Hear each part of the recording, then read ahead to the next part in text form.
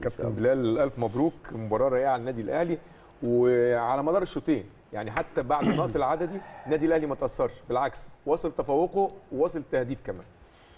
مبروك الأهلي. البداية جيدة يعني. بداية جيدة وبداية مختلفة. صحيح. آه الأهلي مختلف النهارده عن نهاية الموسم الماضي عن آه ماتش السوبر عن نهائي الكاس. الأهلي مختلف بكل المقاييس. الأهلي رجع الأهلي بتاع إفريقيا بتاع بطولة إفريقيا. الرغبة موجودة الحضور موجود جوه الملعب الشخصية موجودة جوه الملعب طول المباراة وده شيء جيد. في بعض الأوقات بتفقد الكره ودي كرة القدم ما بتلعبش لوحدك. يعني أكيد إن أنت النهارده ما بتلعبش ح- 11 بتوع الأهلي بس ما بتعملش تقسيمة. وإن كانت المباراة اتحولت للنادي الأهلي لتقسيمة في بعض أيوة. الأوقات يعني بيعمل فيها كل اللي هو عايزه. أنت في التقسيمة ساعات تبقى في عندك يعني تقسيمة المدير, المدير الفني يقول لك فرقة إيجابي فرقه سلبي. النهارده الأهلي بيلعب إيجابي وبيلعب سلبي في نفس الوقت. يعني بيعمل كل اللي هو عايزه في الكورة. لعيبة النادي الأهلي تألقت. أنا بشوف إن من ضمن الأسباب الجيدة اللي خلت الأهلي كده النهارده روح المنافسة ما بين اللعيبة. مين هيلعب النهارده؟ مين هيكون له مكان أساسي جوه ال- داخل النادي الأهلي؟ مين هيلعب في ال11؟ النهارده في أكتر من لعيب. يعني بص اللعيبة اللي مين اللي نزل النهارده اللي اتغير؟ حسام حسن. ده لعيب انت اشتريته برقم كبير على أساس على أساس إنه ممكن يبقى أساسي في النادي الأهلي. النهارده كان احتياطي ونزل. النهارده أحمد عبد القادر لعيب عنده إمكانيات وقدرات أظهرها بشكل كبير جدا الموسم الماضي مع سموحة. ورجع لك تاني الس- السنة دي. ور- وعنده الرغبة في إنه يكون أساسي. لعيب إمكانيات وقدرات عالية جدا. تمام؟ وساهم مع سموحة إنه يوصل لمركز ثالث الموسم الماضي.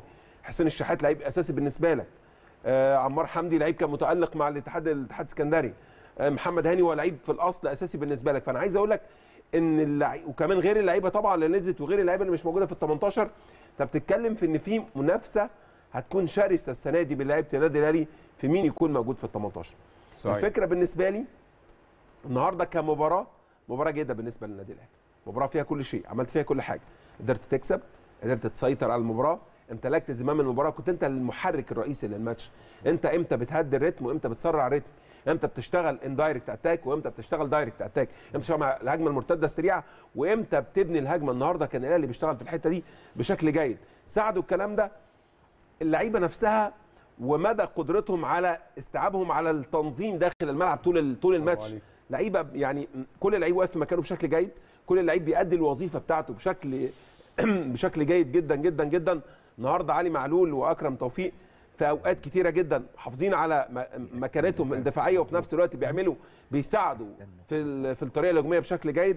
النهارده الاهلي بشكل عام منظم جدا جدا جدا جدا جدا وكل لعيب حريص إن هو يأدي أفضل شيء عنده. واضح إن مش عايز أقول في دش سخن بس في محاضرة كانت كبيرة محاضرة يعني ممتعة من موسيماني للعيبة بتاعته. النهارده اللعيبة بتنفذ بشكل غير طبيعي وكأنك النهارده بتشتغل في الذكاء يعني اللعيبة النهارده بتستخدم كل ذكاء داخل الملعب وبتأدي بشكل جيد جدا جدا يعني. مبروك الأهلي البداية. البداية بالنسبة لي مش ماتش البداية بالنسبة لي يعني تعدي مرحلة ست سبع ماتشات في الأول تمام كلهم مكسب وكلهم أداء لأن النهارده هتخوف الفرقه منك زي ما اتكلمنا. الفرقه بتخاف من النادي ولازم. تستغل البداية ديت المباريات القادمة ده, ان شاء ده الله. طبيعي طبيعي طبيعي إنك تستغل بدايتك الجيدة مع فريق المفترض إنه فريق كبير. يعني صح. إحنا يعني نعهد الإسماعيلي إن هو فرقة كبيرة. آه حصلت له ظروف كتيرة جدا جدا ولكن الإسماعيلي ما تنساش إن هو متعادل معاك الموسم الماضي ومن أسباب فقدانك للدوري العام مباراة الإسماعيلي مباراة التعادل بتاعت واحد واحد اللي كانت أيوة، مو... طبعاً. اللي اتلعبت في اسكندرية.